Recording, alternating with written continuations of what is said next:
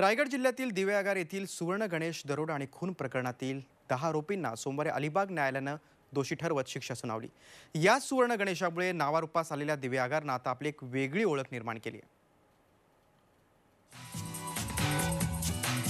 दिव्य आगर निसर्गाला पडलेलं स्वप्नच जणू निराशार समुद्र चमचमती वाळू आणि नारळ पोफळींच्या बागा यामुळे दिव्यागर पर्यटकांचं एक फेवरेट डेस्टिनेशन ठरलंय.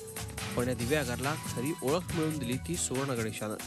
सतरा नोव्हेंबर एकोणीसशे सत्त्याण्णवला एका बागेत खोदकाम करत असताना तांब्याच्या पेटीत सव्वा किलो वजनाची सुवर्ण गणेशाची मूर्ती सापडली आणि कोकणातल्या एका कोपऱ्यात दडलेलं दिव्यागर भारताच्या नकाशावर आलं.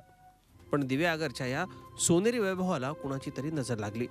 चोरट्यांनी ही गणेश मूर्ती चोरून दिली नेताना दोन पहारेकऱ्यांचा खूनही केला. घटनेच्या पाच वर्षांनंतर आरोपींना शिक्षा झाली. बारा आरोपींपैकी एकूण दहा आरोपींना वेगवेगळ्या कलमांखाली न्यायालयाने दोषी धरलेला आहे. त्यामुळे तीनशे शहाण्णव सह एकशे वीस ब या कलमांखाली पाच आरोपींना नवनाथ भोसले कैलास भोसले सतीश जैनू काळे विजा बिजा काळे आणि ज्ञानेश्वर भोसले या पाच आरोपींना आजीवन कारावासाची शिक्षा न्यायालयाने सुनावलेली आहे. या सुवर्ण गणेशात दिव्या आगरवासी यांच्या भावना गुंतल्या होत्या.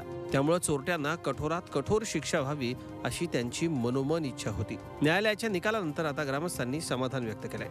पोलीस डिपार्टमेंटने ज्या पद्धतीने याच्या पाठीशी लागून जो शोध घेतला आणि या आरोपींना अटक केलं तिथपासून जे संतप्त भावना निर्माण झाले होते या नराधामांना कठोरात कठोर शिक्षा व्हायला पाहिजे. आणि आज न्यायालयाने तो निकाल देऊन यांना कठोरात कठोर शिक्षा केलेली आहे. त्यामुळे आमच्या भावना ह्या आनंदितच भावना आहेत.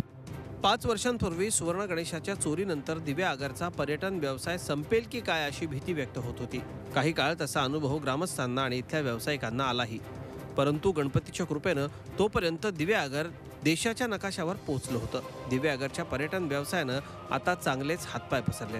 तर दिव्यागर असलेलं गाव हे सुवर्ण गणेशांनी फक्त नकाशावर दाखवून दिलेले. पुढे आपली कुठली तरी जबाबदारी आहे अशा दृष्टीने आम्ही अगत्य म्हणजे आतिथ्यशीलतेमध्ये कुठे कमी पडलो नाही. आणि त्याच्यामुळे असते असते आम्ही सावरण्याचा प्रयत्न केला आणि आज दिव्यागर परत जसं गणेश सापडल्यानंतर गणपती सापडल्यानंतर जे वैभवाच्या शिखरावर प्राप्त झालं होतं तसंच आता परत पूर्ववत दिव्यागर हे त्याच पदावर पोहोचलेलं आहे. ही एक एक समाधानाची गोष्ट आहे याच्यामध्ये.